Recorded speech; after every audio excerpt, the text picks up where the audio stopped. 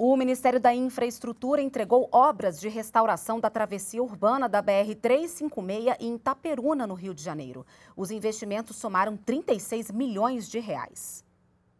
Foram investidos 36 milhões de reais para garantir mais segurança e conforto para os motoristas, ciclovias para os ciclistas e novas calçadas para pedestres.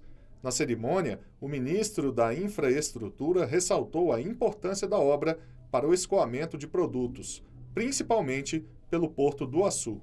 Aqui no norte do Rio nós temos um porto que é uma potência, que é o Porto do Açu, e que vai pegar cada vez mais carga, vai movimentar cada vez mais carga. São bilhões de reais investidos no Porto do Açu. Temos lá um dos maiores empreendimentos de energia em andamento no Brasil hoje.